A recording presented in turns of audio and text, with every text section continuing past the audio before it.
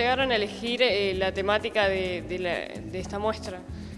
Justamente remitiéndonos a, los objetivos del proyecto de la abadía en general, como te decía, es ahondar en la identidad latinoamericana, a partir de ahí generar una cultura del encuentro, conociendo nuestros, orígenes, nuestras raíces más profundas, para descubrirnos como, cultura y como Latinoamérica toda.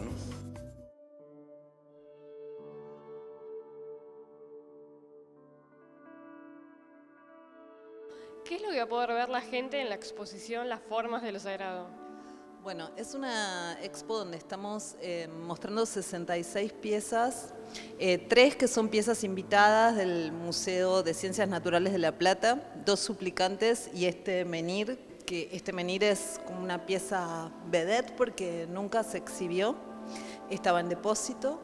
Eh, y después el resto es colección, la colección de arte precolombino de Cancillería, es una colección de mm, piezas eh, del noroeste argentino eh, que corresponden a lo que denominamos culturas valliserranas, o sea, corresponden al, territorio fundamentalmente Catamarca, La Rioja, Tucumán.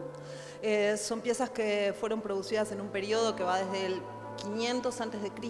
hasta 1400 después de Cristo y fundamentalmente son piezas de metal, de piedra y de cerámica que están vinculadas con lo que podemos denominar en, términos generales contextos cúlticos.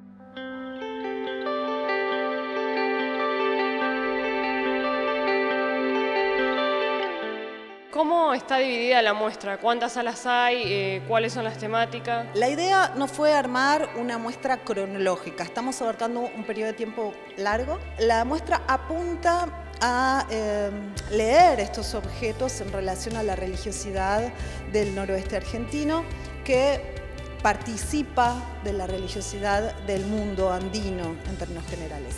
Y por eso los núcleos son núcleos eh, temáticos vinculados con la religiosidad y los eh, rituales en torno a estas deidades eh, y ancestros sacralizados, divinizados.